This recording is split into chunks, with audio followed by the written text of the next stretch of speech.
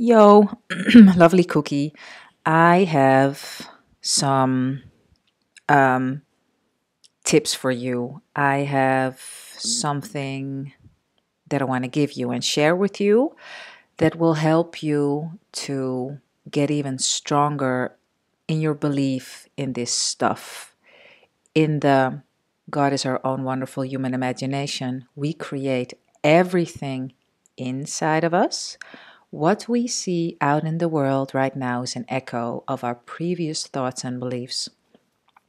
So, the first thing that I wanted to say is keep on keeping on um, because I know that sometimes it can be pretty challenging to stay on that path and to keep believing when you don't see certain things show up and you're like, yeah, but I've been thinking about this so much. Why isn't it showing up? Well, there are tons of videos that explain why that is. That is not what this video is about. This video is about how do you keep the faith? How do you keep the faith? First of all, realize that you have to build trust and faith. You do that you do that by repetition.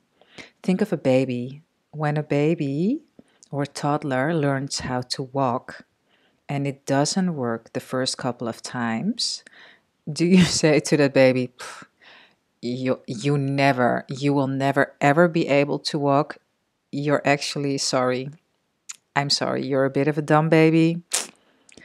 Just give it up. This won't work. No.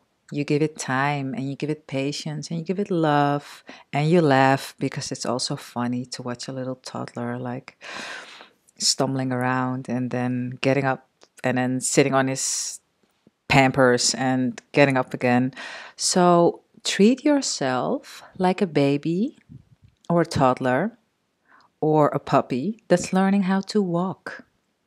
Because that's what we're doing. We're learning how to walk and then how to fly with this stuff in the end. Another thing that really helps me is watch videos of people that I trust and that I know are further than me, that have that trust already super ingrained and that breathe it and live it on a minute to minute base, uh, like Joseph Alai, like um, Nevolution. Uh, Lila is her name. She recently posted a really good video. And what I'll do, I'll make a playlist. Um, building beliefs. I will call it building beliefs. And I'll put the videos in there that really help me. And it's going to be uh, public, so you can just add it to your own playlists and watch these videos. I would recommend watching it on a daily basis until you really, really feel the trust like, yeah, I've got this, because you do. And then lastly, I want to share two really cool manifestations, conscious manifestations. And the fun thing is, is that at the moment, um, actually, to be honest, it has been going like that for for a long time, forever actually. But anyway, so I have some uh, manifestations that are super conscious that I work on and that show up, and I have other things that I just fleetingly think about and then they happen. And one of them happened today.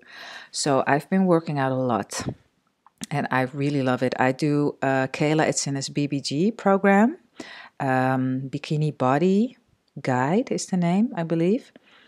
And um, if you don't know it, look it up. Um, if you like to exercise as well and you love to be strong and fit, then you have to do this because it busts you up. You sweat like a pig and it's so nice and you get stronger really quickly. But anyway, I digress.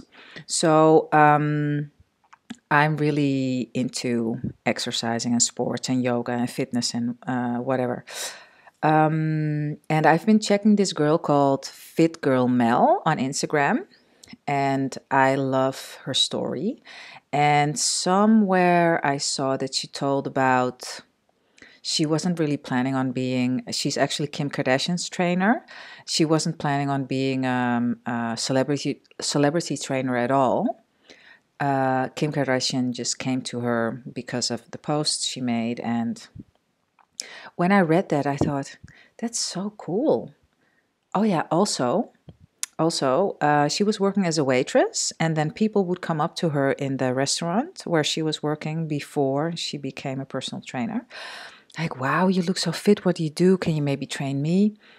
And I was thinking about that. I thought, hmm, wouldn't it be cool if people would ask me to help them to work out, to train? I wasn't manifesting, I was just thinking, wouldn't it be cool? And what do you know today? This is like I don't know, when did I have this thought? Five days ago, a week ago? I don't know, something like that. Today, I finished my day two, week four, and I was like huffing and puffing and sweating. And um, I always do kind of a little more after my practice. And I wanted to go into a handstand, and this lady comes up to me and she says, uh, Hi, um, I always see you train and I think it's so cool what you do. Can I maybe train with you sometime? And I thought, what the? What? This is so funny. I was just thinking about this the other day. So that's a manifestation. And then um, a couple of days ago, uh, the mother of the man I love, do I say that correct? The mother of the man the mother of the man that I love. Uh, I hadn't spoken to her in a while, and I was thinking about her and about um, one of his sisters and um, his sister's boyfriend. And I don't know, I was just thinking about them, not really. I was wondering, like, ah, how are they doing? Because I haven't spoken to them in a while. And then his mother contacts me. She sends me a message asking me if I uh, feel like having dinner with them in a new restaurant that has opened somewhere. So with her and her own boyfriend. And then if she should invite uh, this sister and his sister boyfriend. And I was like, this is so random.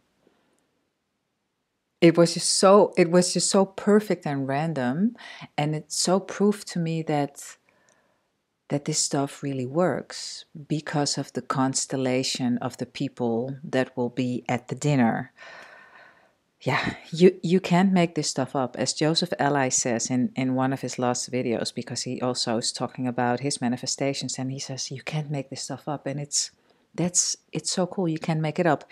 And today, someone that I met in India, um, when was I there? last October. Someone that I met in India. I've been thinking about her a lot, but I haven't messaged her.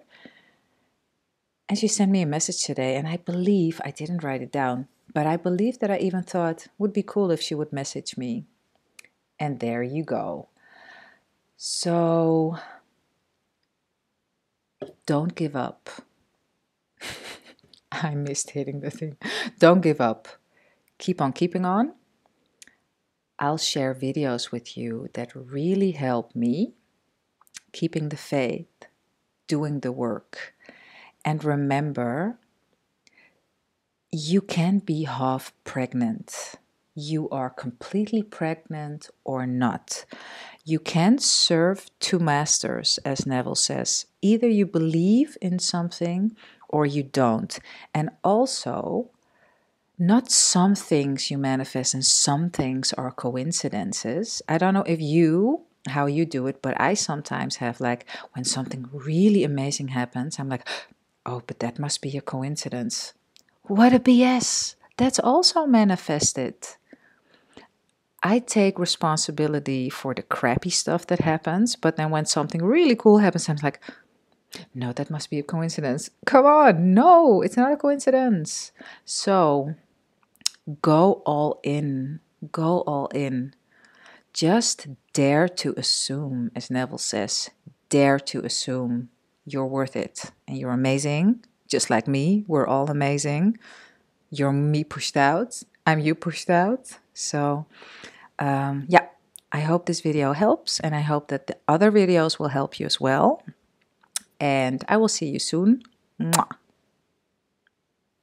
Oh, long video. Bye.